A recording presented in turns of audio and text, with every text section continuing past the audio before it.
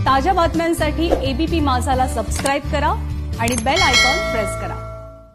शिवाजीराव पाटील निलंगेकर यांची corona taste positive आल्याचं कळतंय. निलंगेकर यांच्या कुटुंबियांनीच ही माहिती दिली आहे. सध्या त्यांच्यावरती लातूरच्या सह्याद्री हॉस्पिटलमध्ये उपचार सुरू आहेत.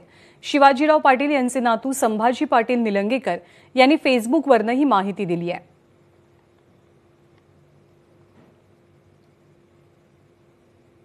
आणि रुटीन एक कोविडची तपासणी करायला पाहिजे म्हणून आपण करून घेतली होती. त्याचा रिपोर्ट काल पंधरा तारखेला रात्री उशिरा आला.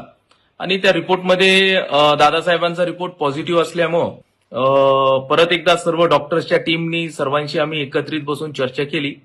आणि सर्व तपासण्या ज्या काय आहेत दादासाहेबांचं वय जवळपास एक्क्याण्णव असल्यामुळं इतर सर्व तपासण्या आपण त्या ठिकाणी केल्या. आणि आज सर्व डॉक्टर्स मॉनिटर करत आहेत. दादा जसं निलंग्यामध्ये जी तब्येत होती त्याच्यापेक्षा आज स्थिर तब्येत एकदम स्टेबल आहे. आणि चोवीस तास डॉक्टरची मॉनिटरिंग चालू आहे.